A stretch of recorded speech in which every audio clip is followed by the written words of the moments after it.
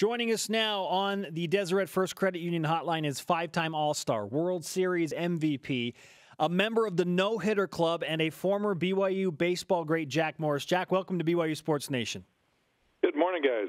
You will be the keynote speaker at BYU Baseball's third annual First Pitch fundraising dinner and auction on January 8th. How did you initially get involved with that and Mike Littlewood in the program now?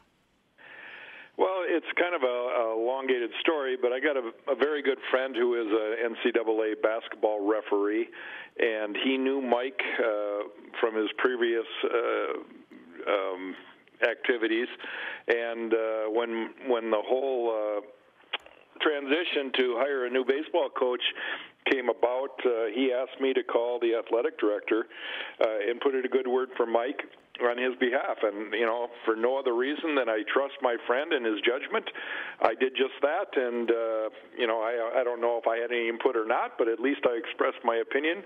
And uh, Mike was hired. And uh, from there, uh, I guess it's just a matter of us getting to know each other a little bit better. Uh, he's asked me to come out and speak to this uh, banquet. Well, I think it's great. There have been a lot of uh, notable uh, alumni in the majors uh, from the past. Hopefully, more here in the future. But I think it'll be great to have you involved uh, with BYU baseball. What did BYU baseball mean to you in your career, Jack?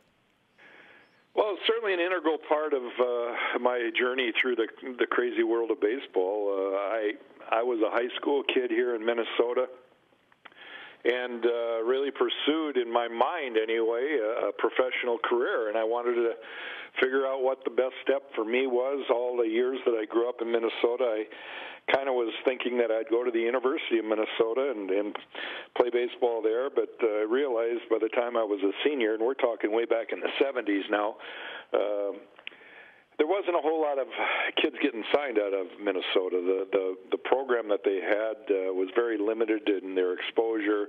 They had one road trip to Texas, and uh, the Big Ten at the time was cold and there was snow on the ground and all sorts of things. And uh, you know, I, I started exploring schools that might have a little bit better opportunity for me if I could excel to get exposed. And BYU certainly was a great fit. I had a sister and cousins that went to BYU, and the idea of snow skiing, even though it was against the rules for us at in baseball, I, I figured, well, you got to break a few rules in life, and I wanted to go snow skiing, so I, I visited. I visited campus, fell in love with it, and uh, I couldn't have really asked for a better experience in college than what I had at BYU.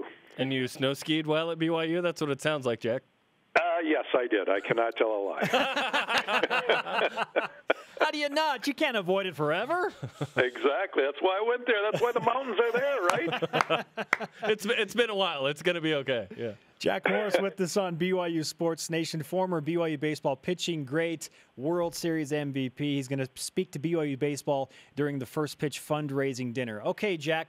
I had a technical director when I worked at my first television station in Grand Junction, Colorado. His name was Kimbo. He was the hugest Tigers fan, and anytime I mentioned BYU, he would walk me through every single pitch on April 7th, 1984, when he witnessed you throw a no hitter as he was ditching school. How often do you get asked about that no hit performance? Well, in all honesty, not very often. I mean, that was a long time ago, so it's just kind of nice. I, I need to give the guy a hug uh, because anybody that can re- go back that far and remember such nonsense is pretty cool. I, I, you know, it was a great day for me personally. It uh, kind of a magical day. I think you have to have a lot of things going your way to be fortunate enough to throw such a thing. And uh, I had great defense, a great bunch of guys that played behind me, and you know, I don't know. I don't know as though I could ever uh, say why it happened. Uh, you know, I threw a couple one hitters in my career, and I was very close to a perfect game once. But uh, the magic happened uh, back in April in, of 1984. I went to one major league game this year, and it happened to be a no hitter. Hisashi Iwakuma's uh, no hitter with the Seattle Mariners, so that was a lot of fun. Um, yeah, I, I watched a game against Seattle that he, Iwakuma pitched, and he didn't have a no hitter, but he could have because his stuff was that good that day, and that was only a couple of weeks before he threw the no hitter. Now, tell us about uh, one of the unique pitches that you had was the fork ball, uh, which isn't used a ton. Can you tell us, uh, inform people about what the fork ball is and how you mastered that? Well, I, I I was in the middle of my major league career uh, with the Tigers, and I kind of was losing the effectiveness of my slider and uh, had a teammate who pitched with Bruce Sutter. Sutter uh, Milt Wilcox was his name, and he used to pitch with the Cubs and had Sutter as a teammate. And Sutter showed him how he threw his forkball, and Milt uh, tried to help me in between uh, starts one time in the bullpen. He said, "Why don't you try this? Just play with it a little bit and see what happens." Well, I threw about 20 pitches and not a thing happened. Every one slipped out of my fingers and nothing worked right. And I said, "Well, that's a waste of time." and he says, ah, "Put your thumb on the side and try it again." You know, I threw about four more and nothing happened. I was ready to quit.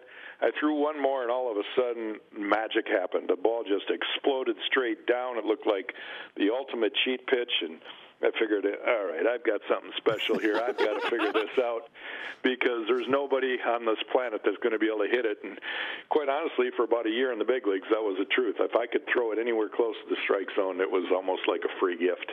Can you still throw the forkball? I cannot. Uh, I, I basically, after over a decade of throwing in the big leagues, uh, it does put a ton of stress on your elbow, and that's why most pitching coaches don't teach it to majority of the players in the big leagues now is because it does put stress and eventually uh, I tore a ligament there. I probably needed Tommy John surgery, but was still able to throw the rest of my pitches without surgery, so I pitched my final year with Cleveland without throwing the forkball anymore. What was it like this past year to be uh, one of the analysts with Kirk Gibson uh, with the Tigers on TV? Don't didn't work with Kirk. Kirk and I actually do the same job, so we switched roles. Uh, you know, he alternated when I wasn't there, and uh, Rod Allen is their full time guy. And uh, you know, Gibby and I were were teammates in Detroit during a great run in '84 and beyond. Uh, you know, he's he's one of the most intense guys I've ever known, and uh, certainly has a passion for the game. He's managed, uh, you know, he's fighting a, a very tough thing right now in Parkinson's disease, but Kirk's a battler, and he's gonna he's gonna continue to do everything he can to stay active and live a a full life. Now, correct me if I'm wrong. There are some BYU ties currently on that Detroit Tigers coaching roster. Wally Joyner is a hitting coach, is he not? Well, he is, and it's funny because uh, when Wally got hired by the Tigers, which to me was quite odd. I mean, you, you just can't have a guy that never played for Detroit be one of their coaches, but it's the way it is in the in the game of, of baseball. And so I, I looked up the numbers that Wally had off me, and, and lo and behold, I think Wally Joyner hit me better than any player in my entire career. I think no he ended kidding. with like hmm. hitting something like 429. So how embarrassing is it that I, as the announcer, have to go up and say, "Hey, Wally, welcome to Detroit. By the way, uh, you hit me better than anybody else I ever faced in my life." and he laughed and he says, "Well, good." Where's the BYU discount there? Come on, Wally. Yeah, yeah. Well, Jeez. I guess we were never teammates, so he didn't realize yeah. there was supposed to be respect. So, so in the 70s and 80s, BYU was able to produce these these names in the major leagues that people know. You know, you and Wally, Cory Snyder, Ricky Aguilera, these guys. Uh, what will it, what would it take maybe nowadays to try and get back to that for BYU baseball in an era where uh, you know they have an indoor practice facility? You didn't back in the day. I don't even know what you guys did. Well, you know, I think it's so much about recruiting and getting the right kids. Uh, you know, baseball is a tough, tough game, and it's become an international game. There's more, more and more Latins, and now Asians coming into the game, and and that's great. It's wonderful, but I.